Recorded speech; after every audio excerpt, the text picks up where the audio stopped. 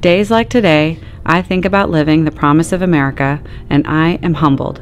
We don't always celebrate the struggle as much as the success. I have always worked hard, finishing college in three years so I could ease the financial burden on my retired parents, taking on the debt of law school to further my dreams, sending a resume with the name Shampa at the top to 500 firms, and getting rejected by almost every single one.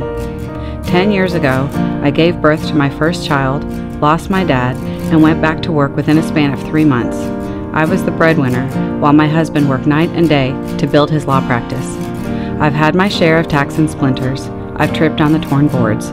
And all that experience has prepared me for the bench. I understand the challenges of everyday Texans to make it, especially those of us in Harris County who are working hard to rebuild after Harvey. I have been there too. It's not just about making a change in our courts, it's about knowing there are more perspectives, more stories to be considered. It's about knowing the law and understanding the people it affects.